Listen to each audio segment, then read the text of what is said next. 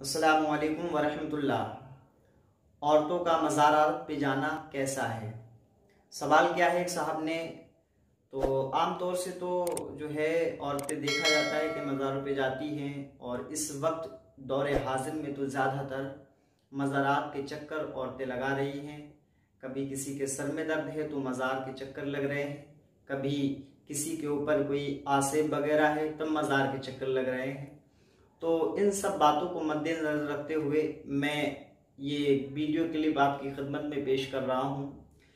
اچھا مزارات پہ عورتوں کا جانا، یہ تو منع ہے، اچھی بات نہیں ہے۔ سرکار اعلیٰ حضرت نے بھی فتح برضبیہ شریف میں منع فرمایا ہے اور قطعی اجازت اس کی نہیں ہے۔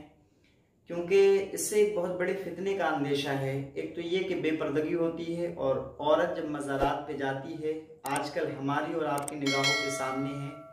کہ جو عورتیں اور جوان بچیاں ان کے ساتھ میں مزارات پہ ہوتی ہیں، کئی کئی دن، کئی کئی راتیں جو ہے مزارات پہ وہ گزارتی ہیں۔ تو آپ خود ہی اندازہ فرمائیں کہ ایسے میں کیا ماحول ہوتا ہوگا اور کیسی جو ہے روش اختیار کی جاتی ہوگی۔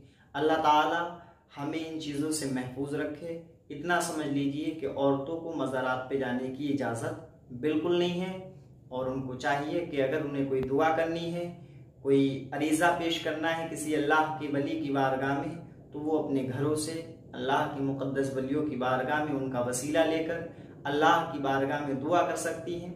انشاءاللہ ان کی دعائیں قبول ہوں گی اور نماز کی اگر وہ عادی ہو جائیں تو انشاءاللہ تعالی پھر انہیں کوئی دقت نہیں آئے گی، کوئی تکلیف نہیں ہوگی۔ السلام علیکم۔